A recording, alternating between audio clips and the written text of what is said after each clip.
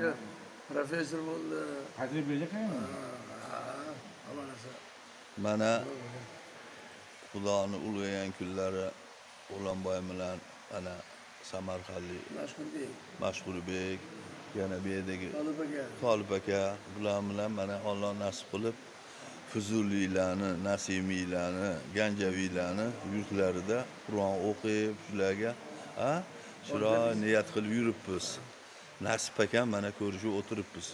To'rt ming kilometr ekanmi to'rt yarim ming kilometr ekan. Mana endi men ko'rgani keldim bularni. Yonma yon sanatoriyada ekanmiz. Dilmurodga aytuvdim. Man boraman o'g'lim akangni ko'rgani boya. Voy o'shada ekanmi dedi. Shuning uchun hammamiz shu yerdan olloh shifo bersin shifo bersin. Intilganga tole yor. A eson mana yana qaytib biror haftada. Ketar ekanmiz ammo mana joylari zo'r ekan mana mana qarang. Juda ilgari o'sha haligi shohlarni tepasi ham bildingizmi qanaqa ekan sizlarniki? Misr misr tom yo'q.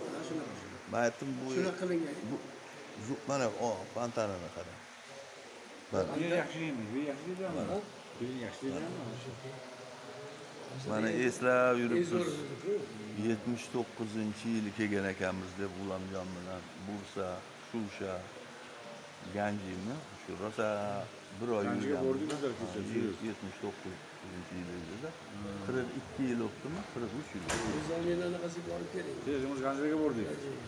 Ha man aytsam bo'lar ekan keling ellik kilo- ellik kilometr bor mana do'stimiz assalomu alaykum labay tohir aka